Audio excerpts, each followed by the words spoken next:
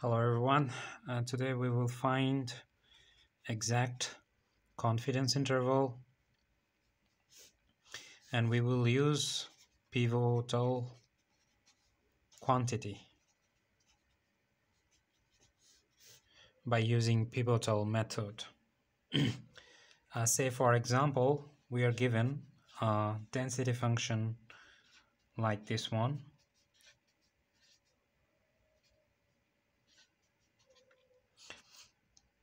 and now we will use the pivotal method for finding the confidence interval for the parameter theta. So first of all we will use uh, the pivotal quantity say u and it will be defined as minus summation 1 up to n uh, log of 1 minus f of xi theta and this is how it's going to be look like. And uh, 1 up to n log of say 1 minus so that we will derive the PDF for that. We will integrate it 0 to x um, theta e to the power minus theta x and dx. Minus summation of i is equal to 1 up to n log of and 1 minus see theta is constant so it will be out 0 to x e to the power minus theta x dx. And it's pretty much look like this. Uh, next minus uh, i is equal to 1 up to n log of 1 minus theta.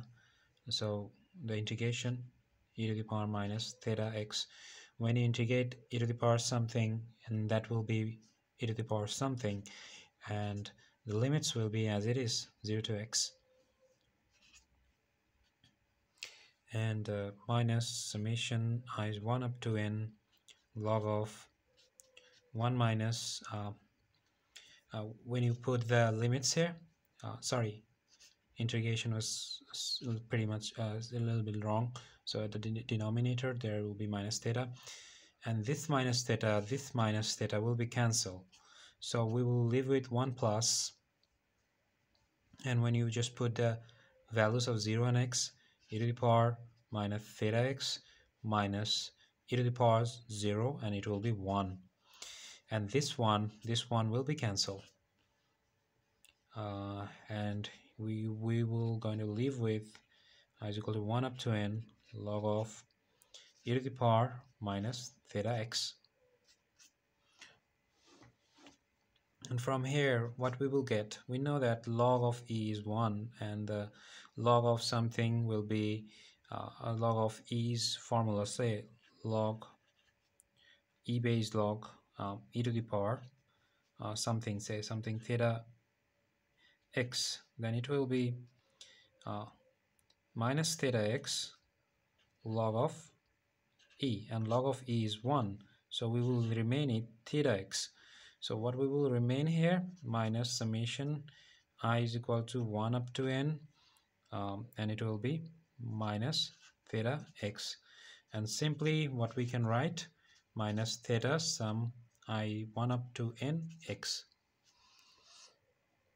So this is our pivotal quantity minus theta sum x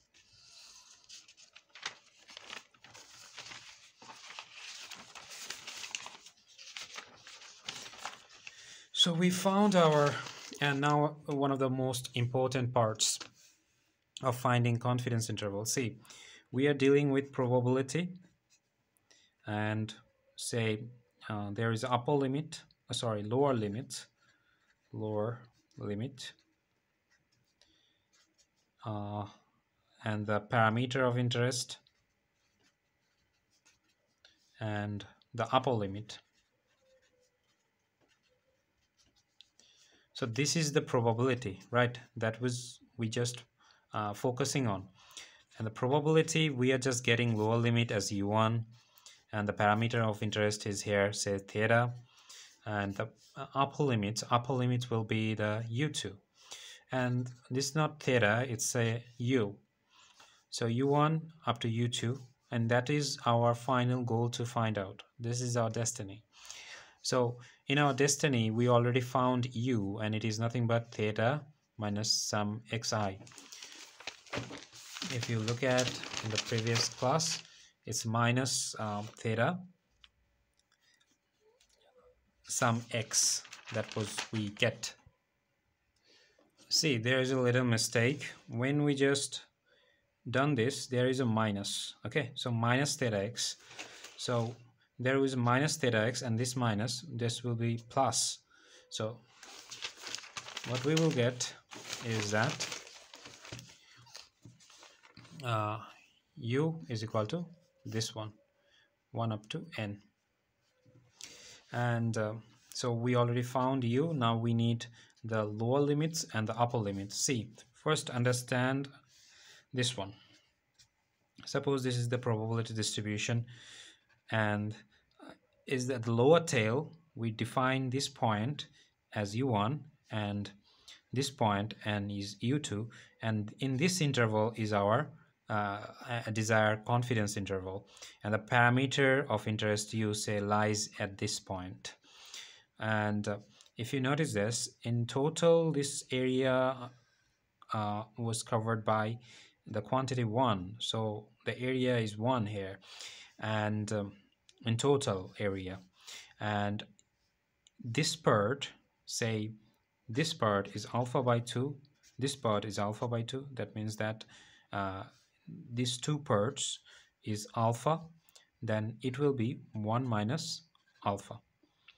So this is what is look like. So we need to find out this uh, this region from 0 to u1 and u2 to infinity this point so first of all uh, as we wanted to find out our, our limit so what we will do we will integrate 0 to u1 g of u. As already mentioned that the this one this u belongs to uh, gamma.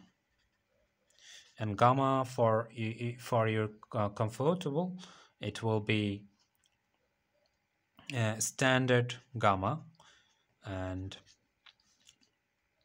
it will be denoted like in this one because there the uh, one parameter will be 1 say g of u du and it will be alpha by 2 so we will put the gamma distribution and it will be a standard gamma.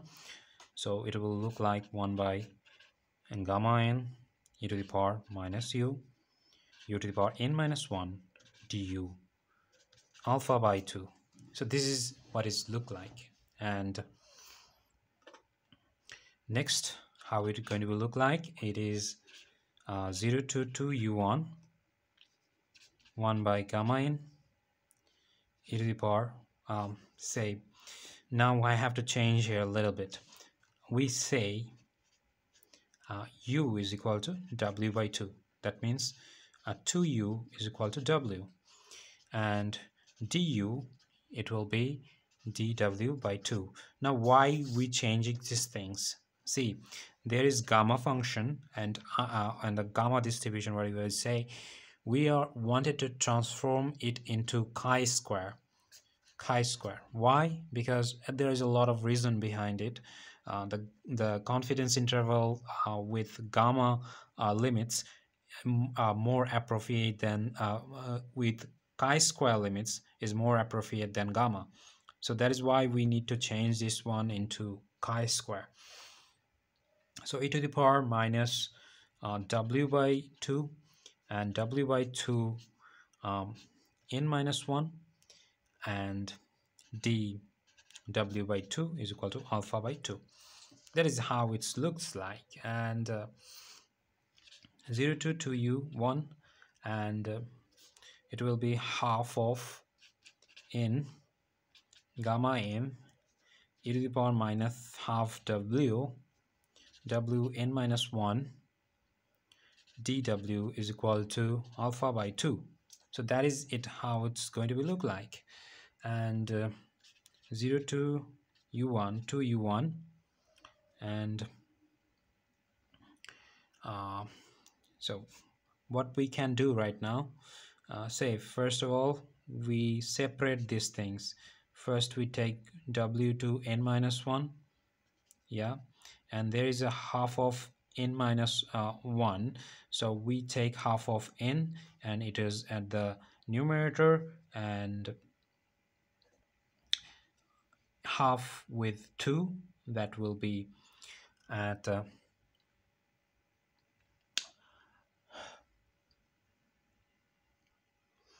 so if you uh, I have I think I I wanted to show this part now uh, otherwise it will be complicated for you. So look at this place what I have done w n minus 1 divided by 2 to the power n minus 1 and what I can write it like n minus 1 to the power n and that will be half. And this half if I take it at the numerator it will be 2 and this 2 and there is another 2 that will be cancelled in both places. Then we will left with dw okay now this is what I'm looking for. Half of uh, 2n divided by 2 so if you cut 2 that will be remain n. So uh, nothing happens.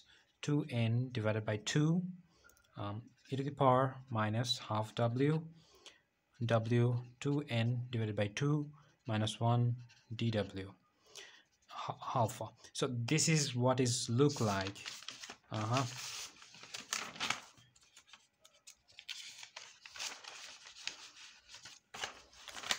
now what I have to do now what I have to do we will integrate 0 to 2u and what was my desire is desire to convert it into chi-square and I have done already that. So it is left with chi-square with 2n degrees of freedom and we will write it d chi-square and it is alpha by 2 now if you want um, uh, if you want now by definition of chi-square quantile we can write it like this one to u 1 is equal to chi-square alpha by 2 to n. And u1 is equal to half of chi-square alpha by 2 comma 2n and Similarly, similarly u2 will be 1 by half chi squared 2n 1 minus alpha by 2 now our final product will be the probability of uh, u1 uh, I don't write the whole thing. You can do that. u1 greater than or equal to uh, u2 sorry u and u2 that was our final product and u1 and the u's value is theta minus sum xi 1 up to n and u2 and probability of we only want theta here. So this will be divided by u1 divided by sum xi theta u2 divided by sum xi. So we will live with that and this is our uh, desire confidence interval. Thank you very much.